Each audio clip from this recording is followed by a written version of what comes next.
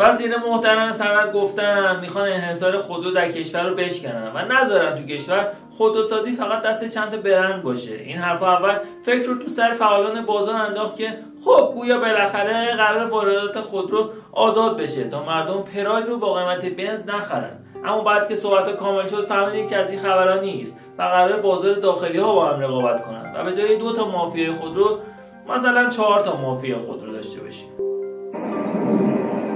این خودروهای بدون پلاک. اینجا پارکینگ نمایندگی یکی از خودروسازان است. پلاک نشده پلاک نشده. خودروی ناجا پلاک نشده. خودرو اگر واقعا نیروی انتظامی مشکل داشتیم برای چی ماشین حرکت کردیم؟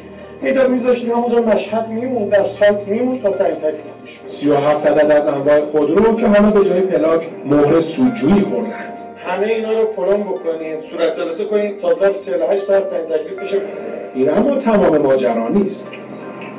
اینجا پارکینگی دیگر از همین نمایندگی. ملاحظه می‌کنید هیچ کدوم از خودروهای موجود در اینجا پلاک ندارد تعداد تاکسی که در این قسمت انباشت شدهاند هم به 270 عدد می‌رسد طبق اظهارات خودشون میگه مشکل محیط زیست و نیروی انتظامیه که اینجا مونده. اگر بحث محیط زیست مطرح بود باید در خود کارخونه و در خود پارکینگ کارخونه خودروسازی این عملیات اونجا انجام میشه و مجوز لازم رو کسب می‌کرد و در به نظر من یک توجیه که نمایندگی داره انجام میده و تحقق محسوب میشه. بله این یک احتکار از نظر ما احتکارش مشغوله باید پرونده نظری تشکیل بشه و همین الان ما اقدامات تشکیل پرونده رو انجام دادیم. مسئولان ایران خودرو اما می‌گویند صاحبان این تاکسی ها مشخص شدند و ظرف مدتی کوتاه وارد ناوگان حمل و نقل می‌شوند این ماجرا فلسفی مرغ و تخم مرغ که اول کدومشون بودن به مدیریت دولتی بازار مرغ هم رسیده و در حالی که مرغدارها برای افزایش تولید و کاهش قیمت در بازار منتظر حمایت دولت بودن ناگهان دیدن دولت اونا رو به جرم کاهش عرضه جریمه کرده. بالاخره معلوم نیست اول کاهش عرضه بوده بعد گرونی یا اول گرونی بوده بعد کاهش عرضه ما که گیت شدیم. حدود دو هفته پیش خبر عدم تولید 45 مرغداری از 52 مرغداری تهران سر و صدای بسیاری به پا کرد. سازمان ثبت از مرغداری هایی می که نهاد دریافت کردند اما مرغ تولید نکردند. از اتحادیه مرغداران گوشتی علت عدم تولید مرغ توسط این مرغداری ها را جویا شدند. تولید کردن وزارت صنعت و معدن تحویل نگرفته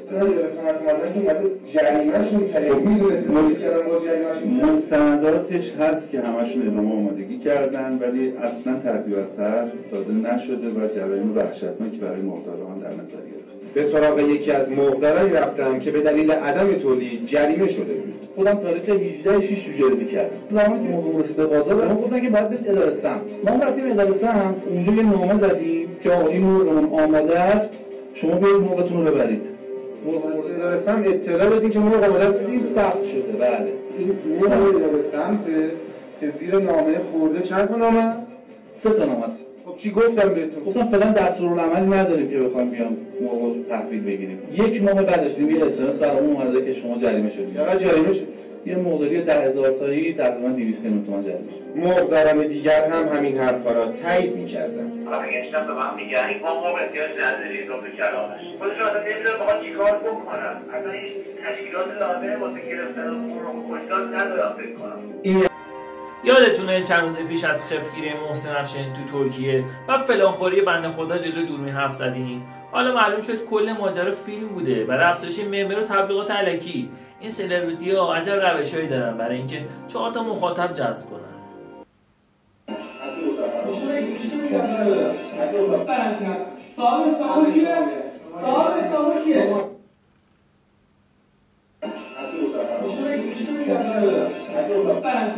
صاحب؟ صاحب کیه؟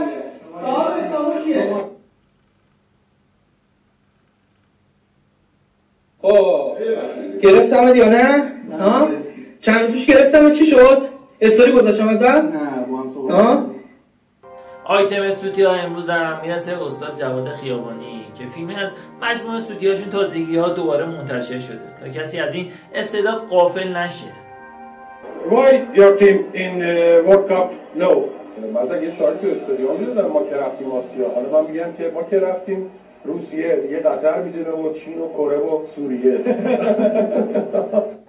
هنوزم دیر نشده. هفت دقیقه در فوتزال خودش در 15 دقیقه وقته. نه نه چی گفتی؟ یه دیگه بگو. هفت دقیقه در فوتزال خودش در 15 دقیقه وقته. و بی خبر امروز رو با تراژدی آب در کشور به پایان میرسونیم. که یک جا آب اونقدر زیاده که سیل زندگی مردم تهدید می‌کنه و یک جمع آب انقدر کمه که اینطوری مردم دنبالش میگردن. برای ریشیابی این مشکلات هم باید رفت سراغ آمریکا. میترسد.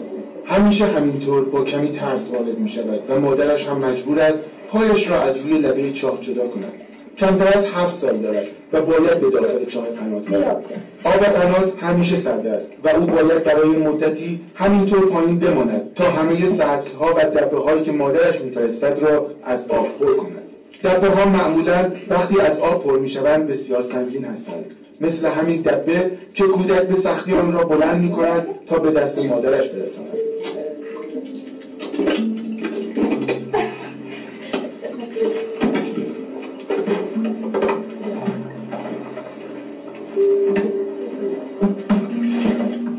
وضعیت آب اصلا خوب نیست. هم گلالود است و هم ماهیان و قورباغه ها در آن شنا می‌کنند. اهالی این روستا که در نزدیکی شهرستان فنوش در جنوب سیستان و بلوچستان است هم از این آب می‌خورند و هم با آن شستشو می‌کنند. این قنات تنها داراییشان است و اگر روزی خشک شود همه اهالی روستا تشنه میمانند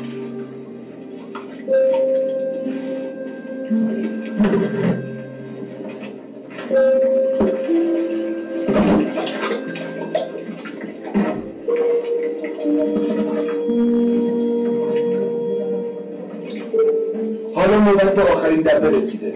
نه تنها برای کودک سنگین است که مادر هم نمی‌تواند آن را بالا بکشد و رها می شود خیلی وقتها این دبه ها به سر کودک برخورد می کنند و به او آسیب می زنند اما این بار این کودک خوششانسی آورد و دبه روی سرش نیفتاد. هرچند فردا هم باید دوباره به داخل چاه برود و معلوم نیست که چقدر خوششانس تا بی خبر دیگر خدا یارا نگهدارتون.